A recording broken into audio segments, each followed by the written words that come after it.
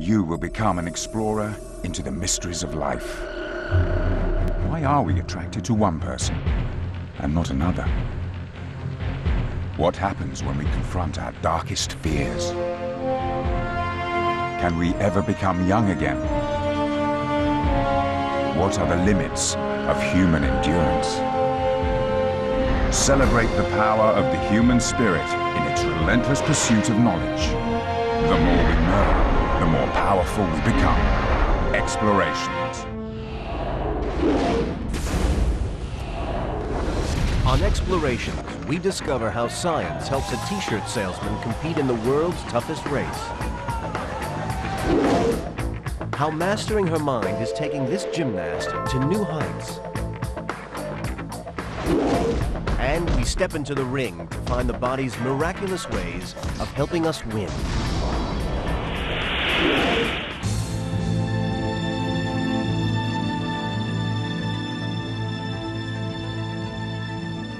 The desire to compete and to win are instincts we all share. But now the best athletes are pushing themselves to unimaginable feats. And it's science that's helping them extend the boundaries of what their bodies can do.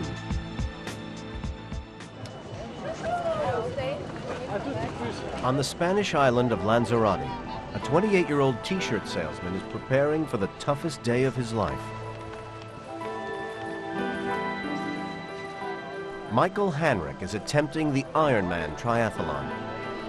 A 2.4 mile swim, followed by a 112 mile cycle ride, and finally, a 26 mile marathon run. The Ironman triathlon is one of the most extreme endurance challenges devised by man. It sometimes proves fatal for its competitors. Michael Hanreck is not a world-class athlete. He's relying on science to help push his body to the edge of its limits.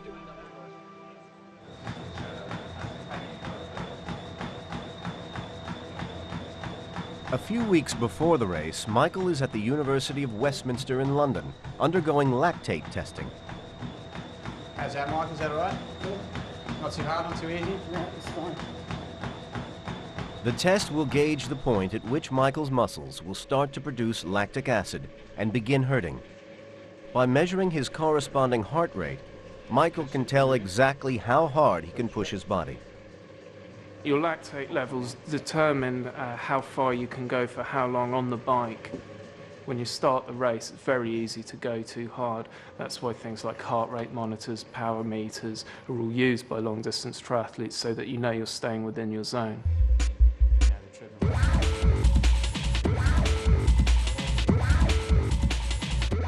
Nice and high. That's really, really good. Keep pushing this out. Keep driving along. Doing an Ironman triathlon, you need to be well conditioned, and Michael's looking good for the race. We've pinpointed a number of variables during the test that, that sort of demonstrate that he is at um, uh, the, the top end of his age group in triathlon, and he should perform well in Lanzarote.